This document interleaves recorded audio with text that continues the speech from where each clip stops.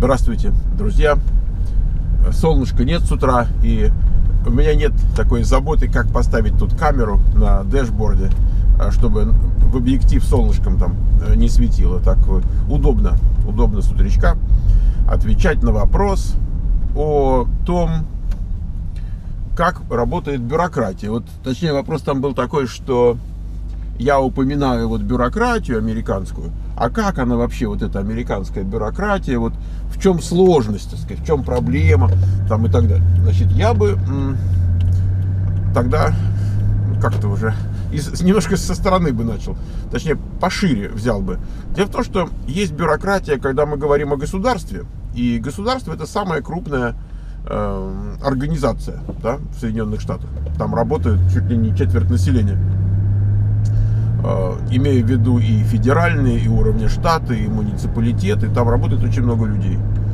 Э, и это большая махина, и она работает по правилам. Вот, понимаете, бюрократия, в частности, состоит в том, что люди работают по правилам, и они должны работать по правилам, и с этим ничего сделать нельзя. И лучше, чтобы они работали по правилам, чем по понятиям. Понимаете, поэтому э, бюрократия, может быть, с ней иногда сложно, но, во всяком случае, она работает по правилам, и это очень хорошо. То есть в этом есть большой плюс. Так вот, есть бюрократия государственная, есть бюрократия э, корпоративная. Ну вот есть чиновники. И э, там, там тоже начинается, потому что правила правилами, но э, внутри компании, внутри корпораций чиновнику легче, может быть, нарушать эти правила. Допустим, если государственный чиновник, он, в общем-то, вынужден, он, он подконтрольный, он со всех сторон прозрачный, вот, то корпоративный, он гораздо более скрытый. То есть он может под видом соблюдения правил, он может что-нибудь такое мудрить, саботировать, а, какой-то свой интерес личный а, протаскивать, эм, ну и так далее. Что я вам рассказываю, господи, что бюрократии не видели. Значит, теперь, что хорошего в американской демократии, скажем так, отличительно хорошего по сравнению, скажем, с бюрократией где-нибудь еще. Вот, ну, из тех, что я видел, я много не видел, но вот кое-что видел. А, это бюрократия, которая, если тебе что положено, ты это получишь. То есть она у тебя не отберет того, чего тебе действительно положено. Бывают пограничные ситуации, когда возникает вопрос, вот, а положено или не положено, насколько положено. Для этого есть суд вы идете в суд и говорите, вот так и так, меня бюрократия обижает. И суд принимает какое-то решение. И суд бюрократии не контролируется ни корпоративный, ни государственный, никакой абсолютно независимый суд. В, это, в этом некоторое удобство. То есть, что положено, все твое. И бюрократия, в общем-то, не стремится отнять у тебя то, чего тебе действительно положено. То есть, может быть, бывают какие-то случаи, там, я не знаю, э, то все, но, но в целом, как бы, смысла нет делать что-то, что заведомо проигрышное, ну, ну чего, самое. Вот, поэтому, так вот, э, конечно, бюрократия может, например, взятки брать, да, то есть, если какой-то такой сомнительный момент, вот где-то кому-то дать или не дать, вот этому дать или не этому дать, подряды, какие-нибудь выгодные, там еще что-нибудь. Там может срабатывать какая-то такая вот э, бюрократическая система, где кому-то дают взятки. Но не то, чтобы я видел, например, как дают взятки, и не то, чтобы я э, был объектом э, вымогательства, объектом или субъектом. Нет. Я, я лично с этим не сталкивался. Я вижу, что пишут там, допустим, в, в прессе на этот счет, что тут разоблачили, там поймали, э, здесь чего-то. Вот я помню, даже в Сакраменто был интересный случай, там какого-то дядьку, я боюсь соврать, то ли посадили, то ли уволили из, э, я думаю, из иммиграционных служб. Так э, он там выдал два десятка э, грин-карт за деньги. Представляете, вот такие люди бывают. Поэтому, я не знаю, кто-то скажет, надо как здорово, заплатил и все, правда, удобно. Вот. Что касается нас, вот людей там как бы простых, э, чего нам бюрократия, правда?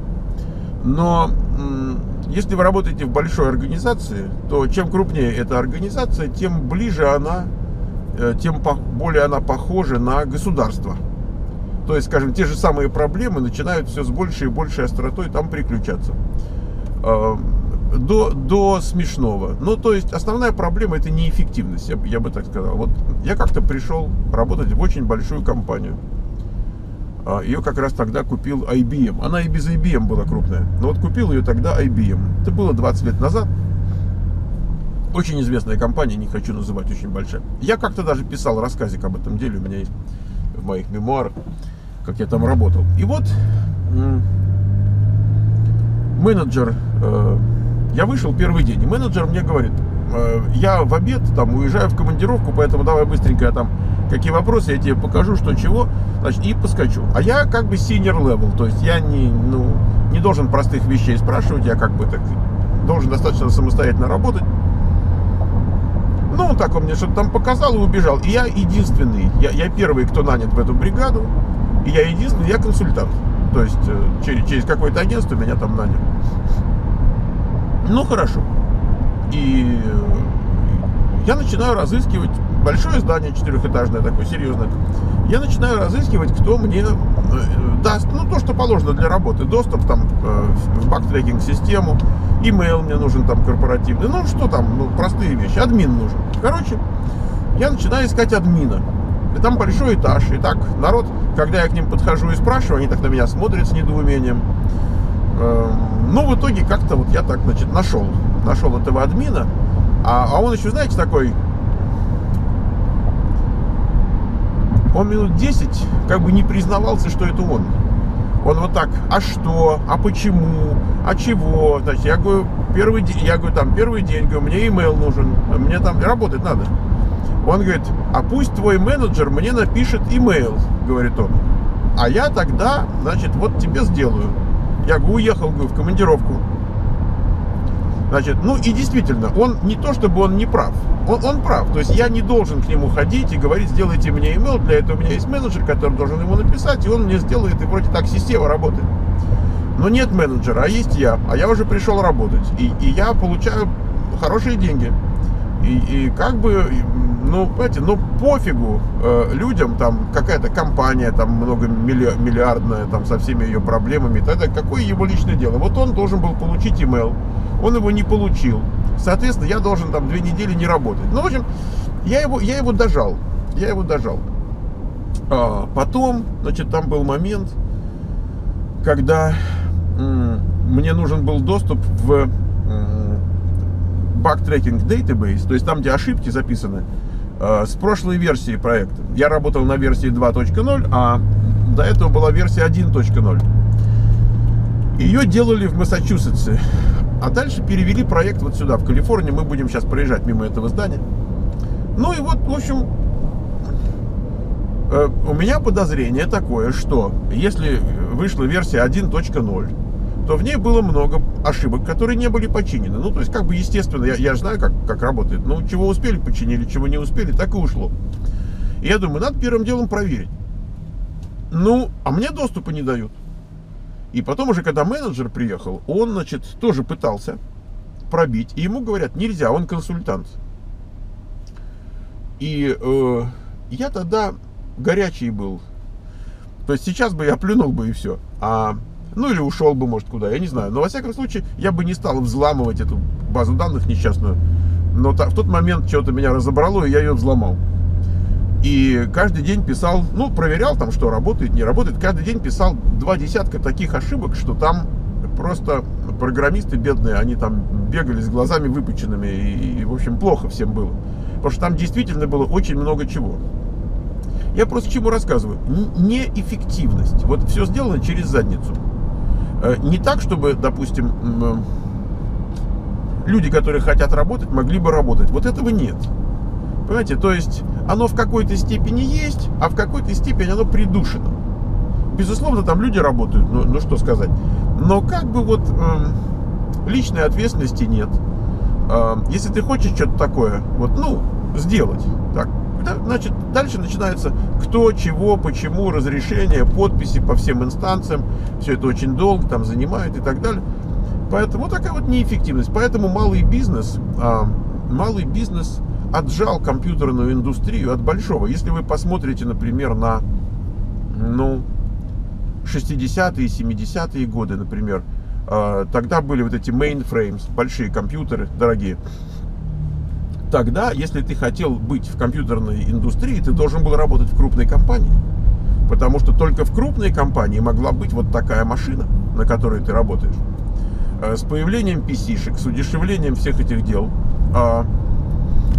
получается, что ты гораздо лучше в профессиональном плане развиваешься, если ты работаешь в маленькой компании, потому что маленькая компания динамична.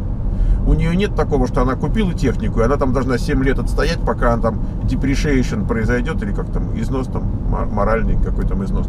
Вот, и ее надо будет заменить на новую машину. В маленьком бизнесе, да мы каждый год можем заменять машину. Вот, вы, вы что, вот я, я стою, я решение принимаю, мне не надо ни с кем согласовывать, ничего, у меня нет таких правил никаких. Поэтому э, по мере того, как вот шла и набирала обороты миниатюризация вот этого всего, соответственно, привлекательность э, большой компании сошла на нет. Она может быть, э, она может быть привлекательна, конечно, бенефитами какими-то, какой-то стабильностью явной или мнимой, я уж там не знаю. Но вот динамики там нет профессиональной. И я знаю дядьку одного, он работает в штате Орегон, он там живет и работает прямо в самом штате. Вот в смысле в аппарате э, штата, в правительстве как бы, да. Он айтишник, он, он программист там на Oracle. И я с ним разговаривал, э, ну, не знаю, там, пять лет назад. Жена его у нас училась. я с ним разговаривал, он при, приезжал там ее навестить. И говорю, как там вы? Ну, и, и он как-то так был вот недоволен, потому что он уже хотел перейти на какую-то более последнюю версию там Oracle, а у них была довольно устаревшая, причем серьезно устаревшая, на чем он работал. И я говорю, а почему же вы не переходите? Он говорит, ну там есть, говорит, сеньорити, э, то есть люди, которые там раньше пришли, им раньше дают доступ а, к новой технике, понимаете? Вот, а, вот это бюрократия. Вот, вот и все. Если бы он работал в маленькой компании, она бы уже вышла из бизнеса с такими э, да, и так далее. Вот, вот это бюрократия. Я не говорю про какие-то тяжелые случаи, когда идет борьба там за что-то. Э, конечно, трудно пробиваться через бюрократию. Никто не берет на себя решение. Оно куда-то спихивается, оно куда-то уходит, оно не проходит. Оно какими-то там кругами, и ты не можешь найти, никто не виноват и так далее. Конечно, вы можете пойти в суд, но это уже начинаются сложности. Ну, уже, понимаете, уже сложно. Хотя, безусловно, есть некоторые статьи, так сказать, претензии, по которым а, судиться удобно. Например, судиться удобно за, там, скажем, какие-то трудовые вопросы. А, по трудовым вопросам, потому что всегда есть адвокаты, которые радостно хватаются, зная, что у корпорации денег много, страховки э, потрясающие в этом смысле, вот они там их раскручивают. У меня есть один знакомый, который был э, ну, большим каким-то менеджером, не, не, не потестировали, айтишным менеджером в громадной компании, которая входит в одна из Fortune 100, не 500, 100, большая компания.